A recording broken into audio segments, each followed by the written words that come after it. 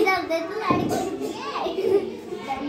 Tiger tiger और? है? मेरे भाई का नाम क्या? तुम बताओ क्या है?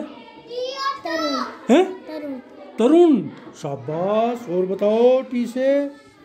Tiger tiger. और बताओ? हाँ और बताओ?